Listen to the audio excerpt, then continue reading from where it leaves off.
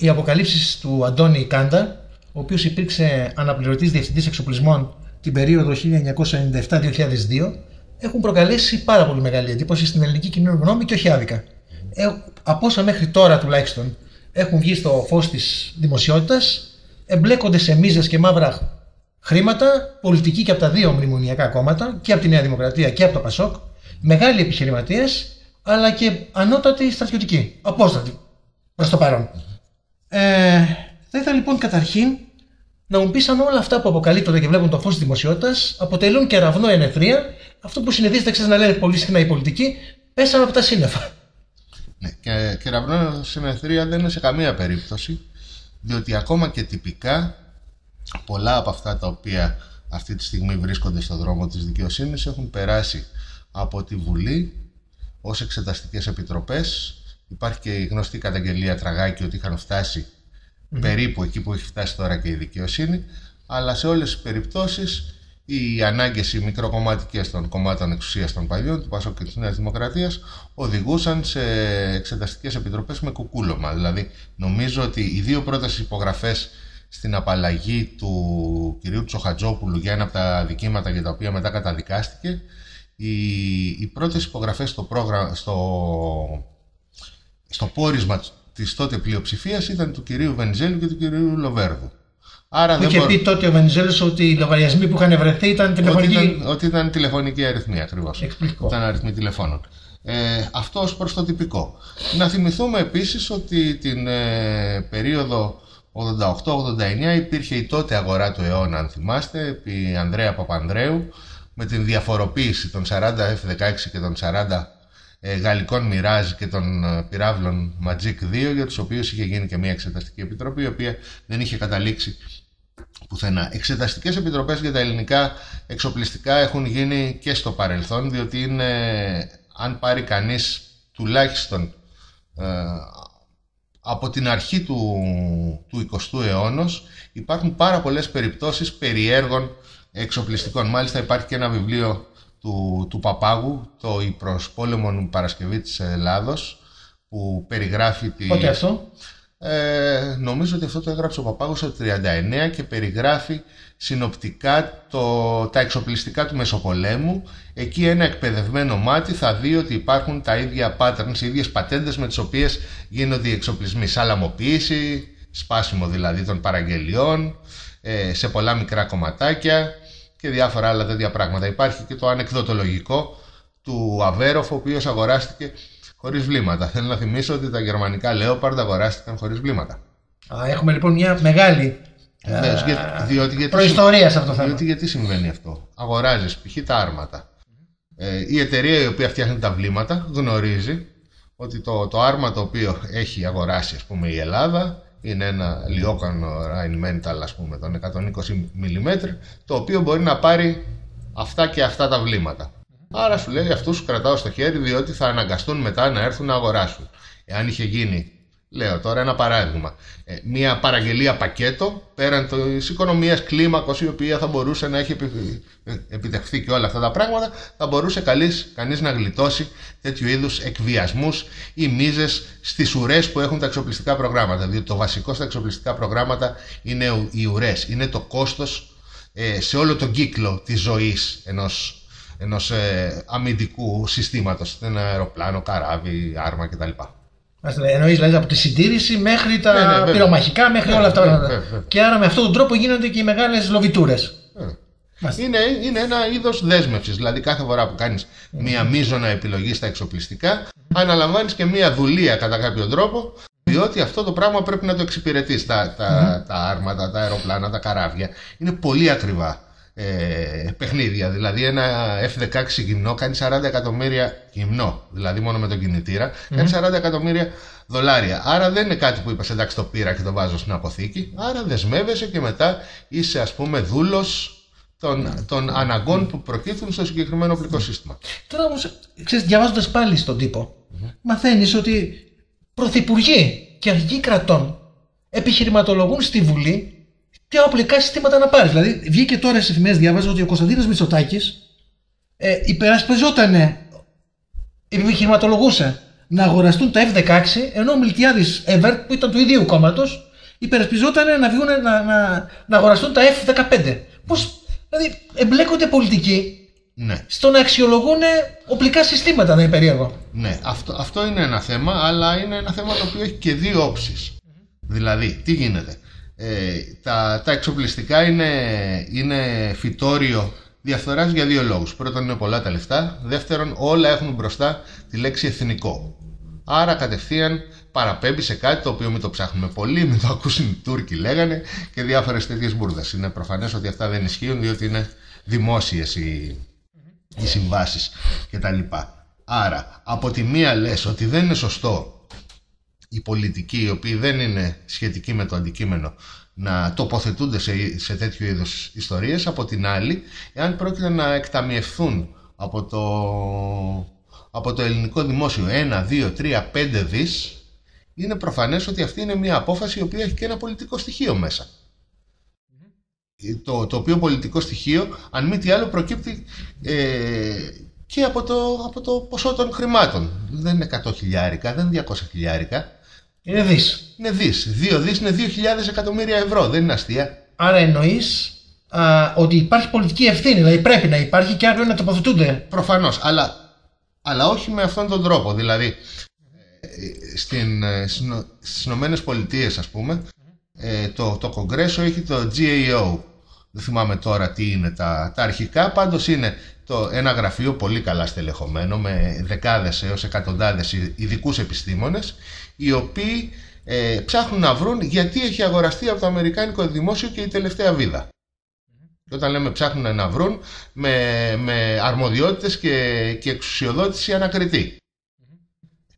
Ένα τέτοιο πράγμα λοιπόν που έχει να κάνει με έναν ουσιαστικό έλεγχο νομιμότητος και όχι άντε κάναμε μια σύμβαση, την περάσαμε ένα βράδυ από τη Βουλή με τρεις βουλευτές που ήταν μέσα σηκώνοντας δύο χεράκια και τέλειωσε, θα μπορούσε σε ένα βαθμό ε, να προστατεύσει. Κατά τη γνώμη μου, ε, θα έπρεπε με κάποια ευθύνη της Βουλής να γίνεται και ένα, και ένα είδος ελέγχου σκοπιμότητας. Αλλά αυτό είναι πολύ δύσκολο. Ειδικά για τα εξοπλιστικά, διότι αν θες να φτιάξεις ένα δρόμο και λες, παιδιά έχουμε δρόμο που να πηγαίνει από τη Λαμία στα Φάρσαλα. Μ, δεν έχουμε. Χρειαζόμαστε; Μπορούμε να μετρήσουμε αν χρειαζόμαστε. Και λες να πάρουμε το δρόμο να τον φτιάξουμε.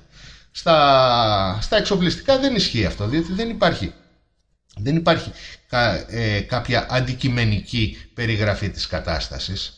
Δηλαδή λες ότι να πάρουμε άρματα. Και γιατί να πάρουμε άρματα; Και πόσα άρματα να πάρουμε; Και τι θα μπορούσαμε να πάρουμε αντί για άρματα; Και είναι δικαιολογία το ότι οι Τούρκοι έχουν άρματα, ας πούμε, για να πάρουμε εμείς άρματα. Πώς πρέπει να πάρουμε αντιαρματικά. Λέω τώρα αυτά. Ε, το παράδειγμα το οποίο φέρνω δεν είναι ακριβές, αλλά το λέω για να πω ότι στα, στα εξοπλιστικά υπάρχει πάντα ένας υποκειμενισμός στο αν χρειάζεται το α ή το β. Επομένως, πώς θα μπορούσε να φτιαχτεί ένα θεσμικό πλαίσιο, εδώ μιλάμε, το οποίο να είναι κάπως. να μην είναι τόσο επιρρεπή στη διαφθορά. Εννοώ γιατί ο τσοχατζοπουλο έχει πει στο παρελθόν όταν δικαζόταν, στην, στην απολογία του δηλαδή, ότι δεν έπαιρνα μόνο τις αποφάσεις, έπαιρνα με το ΚΙΣΕΑ. Το κατάλαβες το πώς Α- λέγεται, το αυτό. ΚΙΣΕΑ είναι το Κεντρικό Συμβούλιο Εξωτερικών και άμυνας. Άμυνας. Και είχε πάρα πολύ δίκιο σε αυτό το πράγμα. Ε, είχε ζητήσει και όλα στα μέλη του ΚΙΣΕΑ που είχαν εγκρίνει τις προμήθειες για τις οποίες κατηγορεί το να, να καταθέσουν. Στο αυτό το ΚΙΣΕΑ να θυμίσουμε ότι ήταν πρωθυπουργός ο Σιμίτης, υπουργός εξωτερικών, ο Παπανδρέου σε κάποια φάση και σε κάποια άλλη φάση νομίζω. Ο Πάγκαλος χωρίς να είμαι σίγουρος, ήταν όλη η, η τότε ηγεσία του Πασόκ το ΚΙΣΕΑ. Έτσι. Ε, άρα το, το ΚΙΣΕΑ είναι, είναι μια εγγύηση με την έννοια του ότι θεωρείς ότι το σύνολο της, της πολιτικής ηγεσίας της χώρας, ξέρω εγώ, η κυβέρνηση ολόκληρη, για να εγκρίνει ένα εξοπλιστικό πρόγραμμα, υποτίθεται ότι δεν είναι η δουλειά πάρα πολύ βρώμικη. Η, ιστο- η, η ιστορία βέβαια έχει δείξει ότι σημαίνει το τελείως αντίθετο. Τώρα, από εκεί και πέρα, πώς θα μπορούσε, πώς θα μπορούσε να, να αποφευχθεί ε, αυτή η ιστορία. Υπάρχουν, ε, υπάρχουν πάρα πολλοί τρόποι εκ των οποίων κατά τη γνώμη μου κανένας δεν είναι ασφαλής. Το ένα είναι πάντα αυτό που λέμε και είναι γενική ισχύως το περισσότερη δημοκρατία. Δηλαδή, ε, εφόσον, ε, εάν η Βουλή είχε τη δυνατότητα να, να ελέγχει επί της ουσίας Γιατί τώρα δεν το έχει για να Όχι. κάνουμε την αντίστοιξη. όχι. Δεν υπάρχουν επιτροπές που ελέγχουν τα εξοπλιστικά. Γίνεται, γίνεται κάποια ενημέρωση, κυρίως ενημέρωση γίνεται.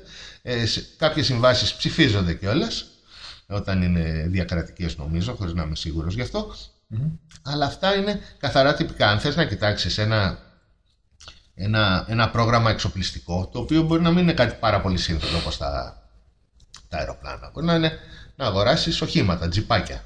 Η σύμβαση είναι ένα πακέτο τέτοιο. Χρειάζονται άνθρωποι ειδικοί και περί τα οικονομικά και τα δημόσια οικονομικά και τα λογιστικά και τα τεχνικά ζητήματα για να τα κοιτάξουν και να, να καταλήξουν σε ένα συμπέρασμα. Δηλαδή δεν ρίξαμε μια ματιά και λέμε εντάξει, OK, okay, φαίνεται. Άρα εννοείς ότι θα έπρεπε να υπήρχε μια επιτροπή τεχνοκρατών που να βοηθάει τη Βουλή; Ναι, γενικά, Πώς ακριβώς... γενικά αυτό είναι ένα, ένα, ένα μεγάλο πρόβλημα το οποίο φαίνεται και τώρα με το μνημόνιο και είναι ένας τρόπος με τον οποίο, ας πούμε, ε, προσπαθούν να γλιτώσουν οι κυβερνώντες από, από διάφορα πράγματα. Π.χ. σου λέει νέος ΔΟΕ κοιτάζει τη λίστα Λαγκάρντ. Μάλιστα, πόσα άτομα έχει και την κοιτάζει, τρία. Η, η αρχή διασφάλισης του απορρίτου των επικοινωνιών κτλ. Θυμάμαι, ε, διάβαζα ότι τους έχουν κόψει και το budget και τον κόσμο με αποτέλεσμα να έχουν πλέον και τεχνολογική υστέρηση σε σχέση με τις δυνατότητες πλέον των υποκλοπών και να μην έχουν και, να μην έχουν και άτομα. Άρα χρειάζεται και εξιοδότηση, αλλά χρειάζονται και οι κατάλληλοι άνθρωποι οι οποίοι όταν κοιτάζουν ένα, ένα, ένα έγγραφο τόσο εξειδικευμένο καταλαβαίνουν περί τίνος πρόκειται. Είπες προηγουμένως ότι τα σκάνδαλα σε σχέση με, με, με τους τραγικούς εξοπλισμούς ήταν γνωστά, δεν ήταν κεραμνό συνεδρία. Ε, ξέρεις, από αυτό προκύπτει η ερώτηση γιατί σήμερα, τώρα, αυτή τη χρονική στιγμή, βγαίνουν όλα αυτά στη φόρα. Δηλαδή υπάρχει κάποια σκοπιμότητα. Δεν θέλω να μπούμε σε μια συνορσιολογία, αλλά μια φυσιολογική ερώτηση. Τόσα χρόνια δεν κάνανε τίποτα. Τώρα γιατί; Παρά το γεγονός ότι όταν παίζουν τόσα πολλά χρήματα και παίζουν και ζητήματα εξωτερικής πολιτικής κτλ., το κομμάτι το συνωμοσιολογικό δεν πρέπει κανείς να το απορρίπτει πάντα.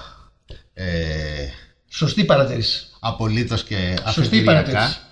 Ε, νομίζω ότι υπάρχει μια απλή και γενική εξήγηση και η οποία δεν έχει να κάνει μόνο με τα σκάνδαλα των εξοπλισμών αλλά και με τα υπόλοιπα σκάνδαλα τα οποία βγαίνουν τώρα στην, ε, στο προσκήνιο και είναι ο, ο αποσυντονισμός του συστήματος. Δηλαδή εφόσον το μνημονιακό μπλοκ ε, σπάει, σπάει και η, και η ομερτά με αποτέλεσμα να βγαίνουν πράγματα προς τα έξω. Γίνεται και ένα μεγάλο ξεκαθάρισμα λογαριασμών.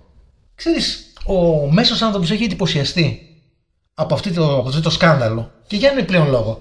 Δηλαδή, λίγοι θεσμοί του κράτους έχουν πια κάποιο κύριο μέσα στον κόσμο και ο στρατός είναι ένας από αυτούς. Ναι. Γιατί βέβαια παίζουν και με τον εθνικισμό, και με τον... αλλά έχει, έχει ένα κύριο ο στρατο Και ξαφνικά με αυτήν την υπόθεση μαθαίνουμε ότι εμπλέκονται σε μίζες ανώτατοι αξιωματικού του στρατού, μεταξύ των οποίων ο πρώην γενικός αρχι... του, του, ο αρχηγός του επιτελείου στρατού και του ναυτικού. Και οι δύο. Ναι. Ε, πρώην απόστατη είναι βέβαια έτσι. Το ερώτημα λοιπόν είναι πώς εμπλέκονται οι στρατιωτικοί; Γιατί είναι τόσο, τόσο ευάλωτοι στη διαφθορά άνθρωποι που υποτίθεται ότι έχουν τάξει τον εαυτό τους στην υπεράσπιση πατρίδας. Ναι. Πρώτα απ' όλα οι στρατιωτικοί είναι και αυτοί.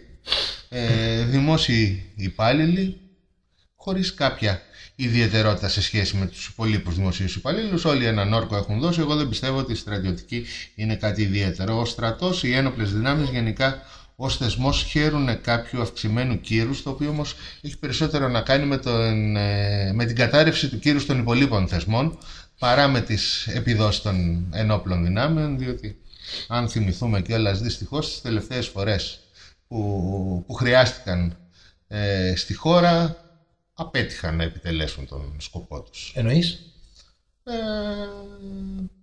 εννοώ ότι τελευταία φορά που, που, που επενεύει με κάποια με κάποιον τρόπο ε, ο στρατός, οι ένοπλες δυνάμεις στα, στα πράγματα ήταν η περίοδος των ημείων.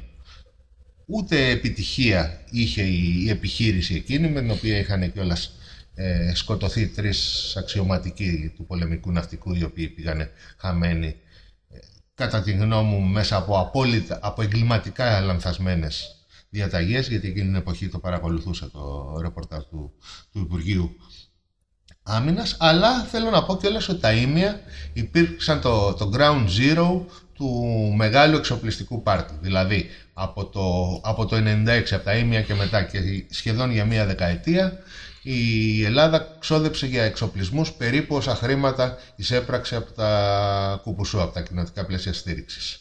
Τώρα, από εκεί και πέρα, σε ό,τι αφορά του, τους αξιωματικούς, είναι πολύ ο κόσμος ο οποίος εμπλέκεται σε μία προμήθεια πολεμικού υλικού, είτε βάζοντας τις, τις, την καταρχήν απέτηση, την προ, τις προδιαγραφές, την επεξεργασία της, της σύμβασης, της σύνταξης της σύμβασης, τη διαπραγμάτευση. Είναι πάρα πολλοί κόσμος ο οποίος εμπλέκεται και είναι λογικό όταν εμπλέκεται πάρα πολλοί κόσμος κάποιοι, και επειδή είναι και σοβαρά τα λεφτά, να, να γλυκαίνονται. Ιδίως μάλιστα όταν γνωρίζουν ότι και προς τα πάνω λειτουργεί αυτό το πράγμα στην πολιτική ηγεσία.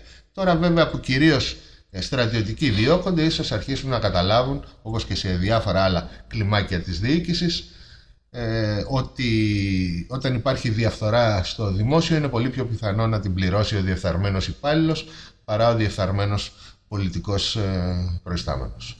Ναι, ξέρεις, διάβασα όμως και κάτι ακόμα στον τύπο μου κάνει τρομερή εντύπωση ότι οι Έλληνες αξιωματικοί αποστατεύονται σε μικρή ηλικία σχετικά και ότι έχουν το δικαίωμα μετά την πάροδο τριών ετών να πάνε σε μια εταιρεία που πουλάει όπλα και να, παίξουν, να το παίξουν ενδιάμεση.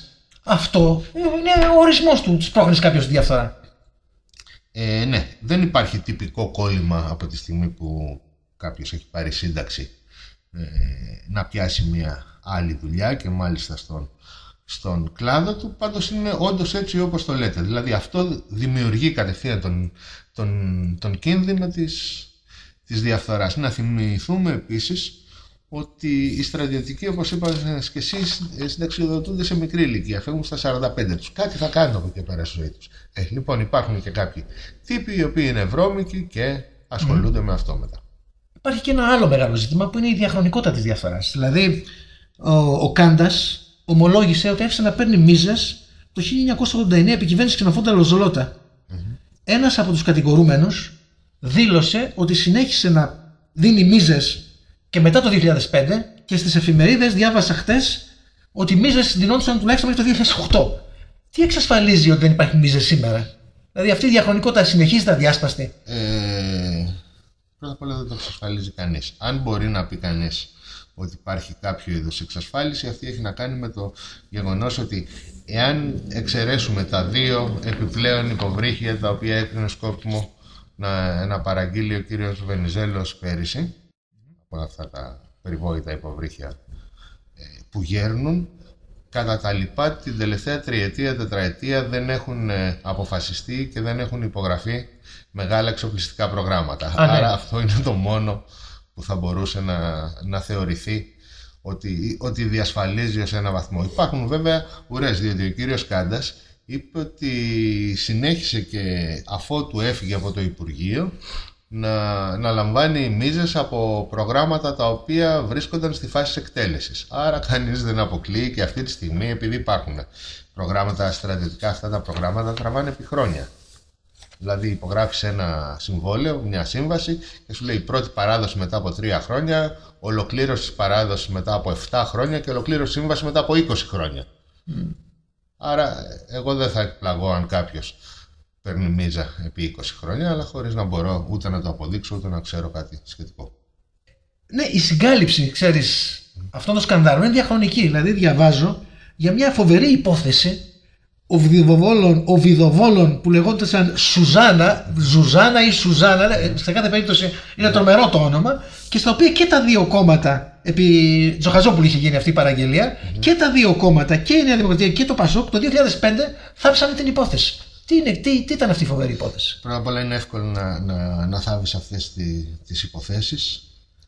Τις θάβουν μαζί διότι ξέρουν ότι αφού θα τα κάνω εγώ μετά από σένα σε καλύπτω τώρα για να με καλύψεις μετά.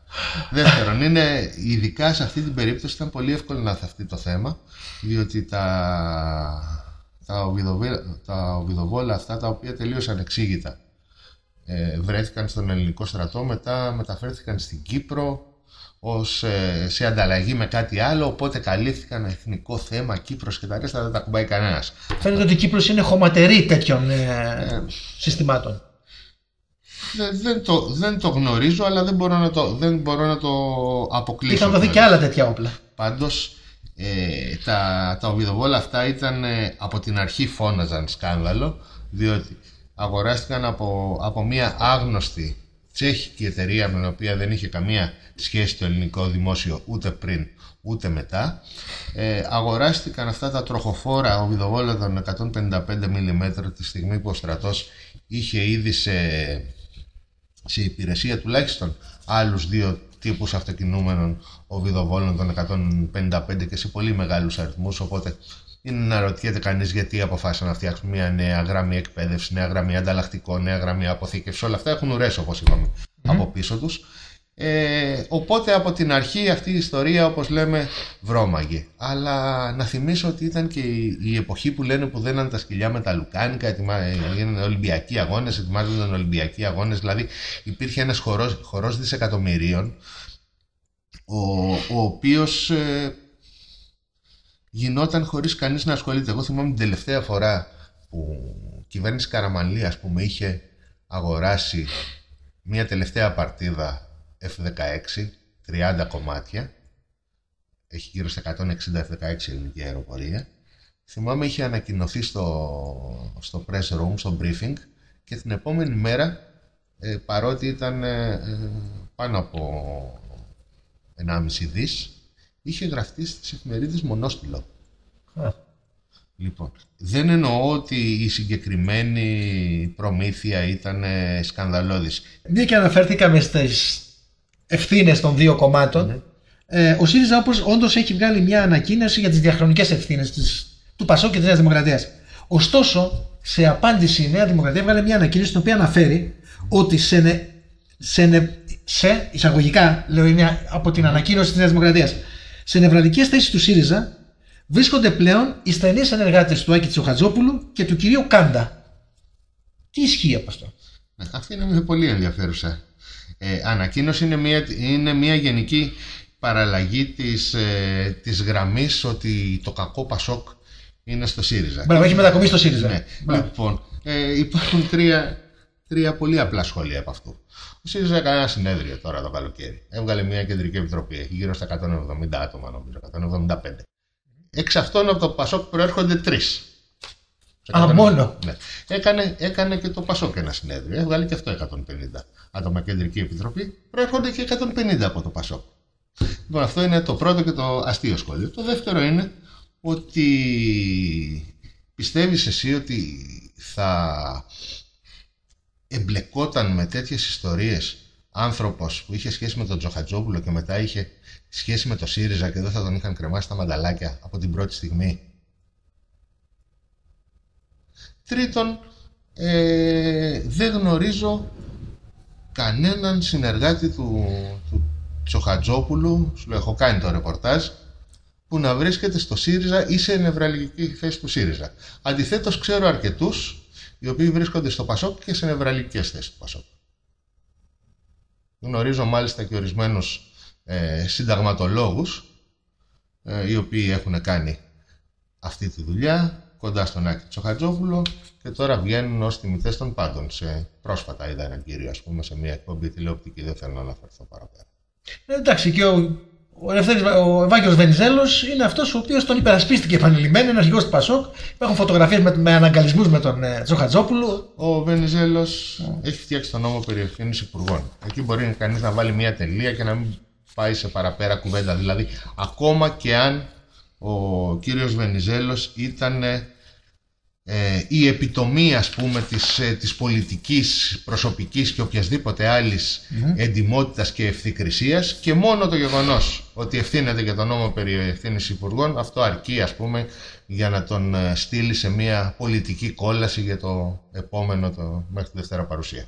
Ένα ερώτημα έχω να κάνω τώρα το οποίο είναι πολιτικό επί της ουσίας. Α, δηλαδή σε όλη αυτή την ιστορία με τις μίζες mm-hmm. εμπλέκονται κατά κύριο λόγο γερμανικές εταιρείες οι οποίες ήταν αυτές που έδιναν τα τεράστια ποσά για τις μίζες. Οπότε το, το ερώτημα που ανακύπτει είναι, εντάξει, έχει ευθύνες και πρέπει να πάει μέσα αυτός ο οποίος τις πεταπαιρνει αλλά αυτός που δίνει μίζες δεν έχει ποινικές ευθύνες. Δεν θα έπρεπε το ελληνικό δημόσιο να ζητήσει αποζημιώσεις και μάλιστα πολύ μεγάλες αποζημιώσεις από τις γερμανικές εταιρείες οι οποίες δίνανε τις μίζες. Και σε αυτό το επίπεδο τι κάνει η δικοματική κυβέρνηση; Το, το ελληνικό δημόσιο δεν έχει κινηθεί προς αυτή την κατεύθυνση παρά το γεγονός ότι υπάρχουν και έρευνες εν εξελίξη στη Γερμανία ακόμα και καταδίκες αλλά ας μην ε, πάμε τόσο μακριά. Να θυμίσουμε ότι το σκάνδαλο της Siemens κουκουλώθηκε διακομματικά μόλις πέρσι από, την, από αυτήν την κυβέρνηση παρά το γεγονός ότι δεν υπήρξε και κανείς να πει ότι δεν έγινε, ότι δεν ήταν έτσι ρε παιδιά, ότι να το δούμε έτσι, να το δούμε αλλιώς όπως λένε με τους, με τους αμυντικούς εξοπλισμούς. Όταν λοιπόν αυτό το πράγμα δεν γίνεται στο σκάνδαλο της Siemens που σύμφωνα με ομολογία της Εξεταστικής Επιτροπής της Βουλής πλειοψηφία Πασόκ και Νουδού ε, προκάλεσε ζημιά στο δημόσιο, άμεση ζημιά στο δημόσιο τουλάχιστον δύο δις, από εκεί πέρα τι ψάχνεις να βρεις. Να τελειώσουμε την ε, συνέντευξη με ένα πραγματικά πολιτικό ερώτημα.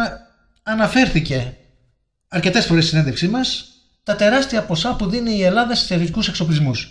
Πράγματι, μεταξύ, διαβάζω στις εφημερίδες ότι μεταξύ των ετών 2007-2010 η Ελλάδα ξόδεψε για εξοπλισμούς 4,3 δισεκατομμύρια δολάρια. Δαπάνη ε, που, την έφερε, χρόνο. Μπράβο, που την έφερε πέμπτη θέση στην παγκόσμια κατάκτηση. Πέμπτη θέση. Η Κίνα, που ήταν στην τέταρτη θέση, ξόδεψε μόλις 500 εκατομμύρια δολάρια περισσότερα από την Ελλάδα. Είναι τρομακτικά τα ποσά έτσι και η σύγκριση. Ναι, υποθέτω, Όλα αυτά. Ναι, υποθέτω ότι ε, αυτό αφορά τις εισαγωγές.